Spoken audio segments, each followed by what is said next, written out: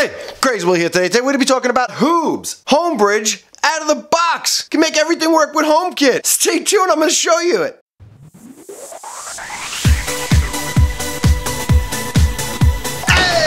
Crazy Will from Crazy Will's Tech Show. Today, we're to be talking about a company called Hoobs. So a while back, I did a video, and you guys can take a look at that right here. It was on Homebridge. It's a piece of software that makes all your other smart devices, if there's a plugin for it, work with HomeKit on your iPhone or iPad, which was a really popular video. So I did this video, tried to make it as easy as possible with the help of QuickPi's repository. And if you want to see his stuff, he does a lot of stuff on Raspberry Pi. He's very, very talented. So I did that and I showed you how to make the config script and I showed you all this stuff. Even though I made it easier, it's still kind of a pain in the butt. Not the easiest thing to set up. You have to learn quite a bit about a Raspberry Pi, how to SSH into it, how to set up an SD card. There's a lot of steps to take to get into the part where you're actually just using the software. And I've been playing with this for a little over two years now, and it's worked really great. And it makes stuff like, for example, the biggest thing I use it for is my TP-Link smart plugs. They're not HomeKit ready, and I love the Kasa app, and I love everything about it, but it would be nice to make routines in HomeKit. It links the Kasa app effortlessly. So it's been quite a while since I did that video, and I had a company out of the blue email me, and they asked me, hey, would you like to try a Homebridge out of the box? I'm like, Homebridge out of the box? And I'm like, can I really pull that off, you know, for the average consumer? I was a little skeptical, but I said, sure, it's free, let's try it. You know, it's something I'm into, it's smart home, worst case scenario. I just give it a bad review on my channel, and we part our ways. And I figured my subscribers might like this, so I said, let's try it. So after they confirmed they were gonna send it to me, I said, let me do my research. I went to their website, which is hoobs.org. If you just want the operating system and you want to tinker with their software absolutely free, they have a download that you could do and you could download the software and try it that way. Thought that was a little odd. I'm like, all right, whatever. And then they have an SD card that you could purchase and it's $9.90. A little bit of an odd price, but still for an SD card, that's pretty cheap with their software on it. And I was like, all right, that's cool. And then they had the out of the box solution, which we have right here for $99. So a 100 bucks basically. And what you get in this box, you get a Hoobs box ready to go with their version of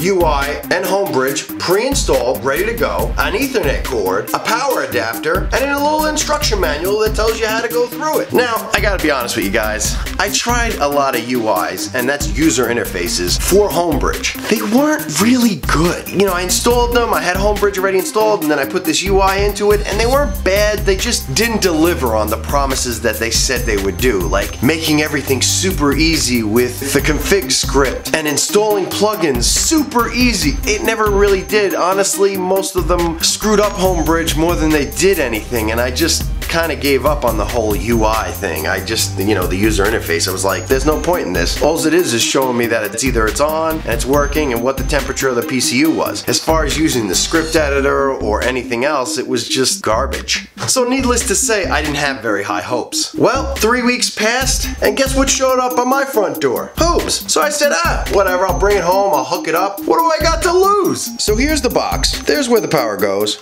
That's where your ethernet goes. And it came with an ethernet cable. And all you do is you connect it to your router. And this is my router right here. We're gonna connect that right in there, like so. I'm gonna get the power adapter right here and plug it right in here. And that's it. Now we have to wait, I think about a minute. So then you go to your regular computer, make sure it's on the same network as the Hobbs box. And then you're gonna go to HTTP semicolon, I think it is, forward slash forward slash Hobbs dot local. And I'll put it down below because you know me, I get things wrong. So once you do that, you should have a screen like this that's a login screen to Hobbsbox. So I'm gonna take this opportunity because, a little spoiler alert, I was pleasantly surprised about how good this was. So let's jump in and show you what I'm talking about.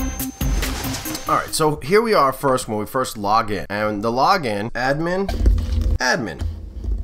And we'll log in. What you're going to do from here is you're going to take your iPhone from HomeKit and you're going to scan that in. And once you scan that in, that QR code there, or you could manually type it in too. There's a number down here. Put that number in as well. And then it'll add onto your phone through HomeKit. Let's just talk about what's over here in the right hand corner. You have these double lines. You could go to terminal, you could restart server, you could shut it down, you could log out, which will bring you back to the screen where you type in admin. You could restart Homebridge. This actually just restarts the Homebridge operating system through Hoobs. You got user accounts, and this is where you want to change your user account. You want to add an account and then delete the administrator, which I haven't done yet, and this is going to become my full-time Homebridge accessory. So I am definitely going to do that, but I don't want to do that on video. You go to view logs so you could see that it's actually running.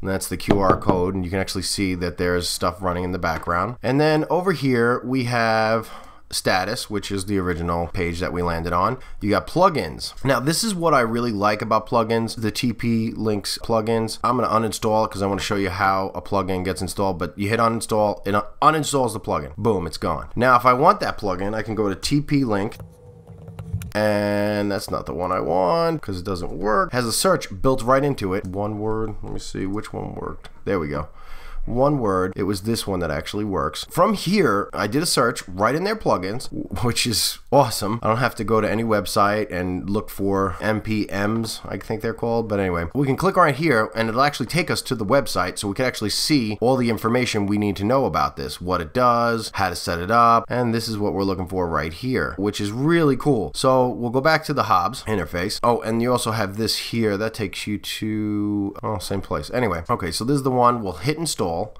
Boom, it just starts installing. And it's that quick. I didn't even change the video. It just installs that quick. So now we're back to the plugins. And don't delete this one. This is your interface for Hobbs. And here's your TP link. And like I said, you can go in here. We'll click right down here. We're going to look for, for this code. And I want to grab this to this. That's what I want. So I'm going to hit copy. Now we'll go back to Hobbs. And right here, we're going to click on config. This is where the consumer is probably going to be a little like, oh my god, what is this? It's not a big deal, guys. You know, read some tutorials. Just to break it down for you guys real quick, there's accessories and everything goes into accessories right here. And then there's platforms. And they're usually closed in with these little brackets right here. I don't know the name of them. I'm not a programmer. I just no basic crap. And then usually there's a comma. So this is all the information that you need for the platform. We don't want to mess that up for the actual UI interface, user interface. I hate when people use abbreviations. So we're going to put a little comma there and then we're going to step down. I'm going to hit Command V and paste that right in there. And that's the platform. So we can hit save and it gives you a little notification, which is really awesome right here that the config files right. And the reason why I know it works, so like let's say we, we messed it up. We, we, we accidentally put an extra curly bracket, I guess that's called, and I hit save. It'll say config syntax error. So we have a syntax error. So we gotta, oh, oh, actually put that in there. Boom, hit save. There you go. Now it's successfully saved and it's good. So it tells you basically, hey, you put the code in wrong, idiot. And I love that right off the bat. So from here, once we're done, just click on this restart. You want to let it restart.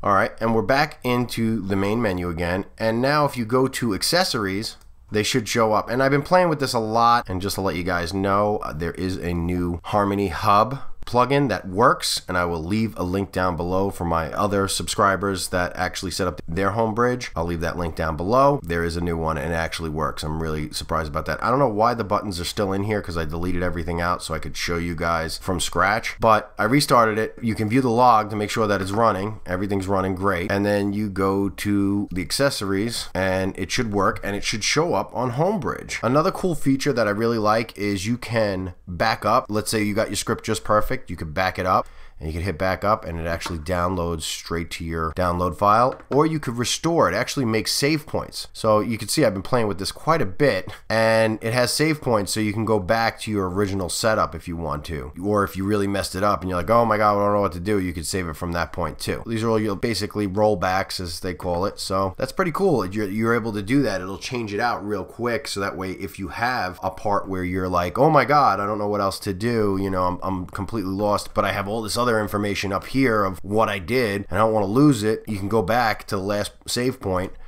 So that basically is how the interface works, guys. I'm actually blown away by this product. If you're not wanting to get into the Raspberry Pi of things and you just want a smart home, this is definitely the way to go. If you're just like an average Joe and you just want HomeKit to work with your devices and you don't mind playing with a little bit of programming language, I mean, it's all right there. You saw how quick I put in the TP-Link plugs. It gives you the code. You can kind of add it in there. It's awesome. I can't tell you guys enough. Like, I went into this thinking, who cares? Like, honestly, I thought it was gonna be another UI that wasn't that good. Yeah, it had Homebridge on it, whoopee. This is an all-inclusive kind of device, like it says on the box. It's Hoobs in the box. It's basically Homebridge in the box, ready to go. You throw it on there, you log in, and you add your plugins, and everything's right there. I mean, no SSHing to the Pi, no setting it up, no flashing the drive, none of that garbage. You plug it in, you type in the address, and you're in business. You could start trying to set up your Homebridge, You connect it with your phone right away. I mean, this is a winner to me. I,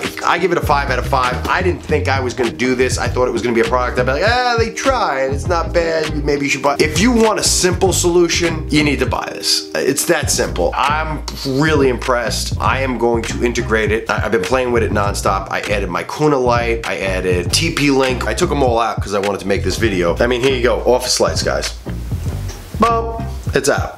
Well, you can't really see it because I have the other lights on, but the office lights are in here. Like, it works. It works really well. It works really fast. It's surprising. As far as the devices you can connect to it, you can get Kuna in there. I got Kuna. I was able to get the light. I wasn't able to get the video going. It's something with the program. Like I said, that has nothing to do with Hoops. That's the plugins. They're independent programmers, which, you know, in their spare time, they make these. But I got the Kuna light working. I got the TP-Link. I got Harmony Hub. You, a lot of you guys messaged me and were upset about the Harmony Hub. There's a new plugin. And like I said, we'll leave the link down below. That worked great. Basically, everything that you could do at your Homebridge, you can add into this. It just makes it so much easier. Like even the code, it corrects a lot of the code for you. It tells you if it's good. There's no, I used to have to go to another website. I mean, it, if you've ever set up Homebridge, you know what I'm talking about. This made it super easy. You will see the value in this. If you have a friend or a parent and they want it on their Apple devices, you could easily set this up in their house. I mean, can't say enough good things about it. I mean, you can just set it up and it works. So, so far I'm really impressed. It looks like they put a lot of work into this and I give them a pat on the back. Like I said, guys, it's a winner. Go get it. Hobbs, if you're watching this and you're listening,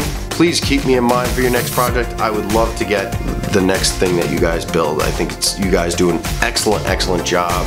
I can't wait for the update. So keep me in mind, guys. That's it for me, guys. Make sure you like and subscribe below. And remember, you could do anything if you put your mind to it. Later, guys! Hoobs. Hoobs. Uh, I keep saying Hobbs. I don't know why. Probably butchered it quite a few times. I know what you're thinking. Crazy Will's Tech Show's over. What do I do now? Real simple, guys. You hit that like button and you hit that subscribe button. And then you check out my other videos. It's not over. I made a lot. Been a good year.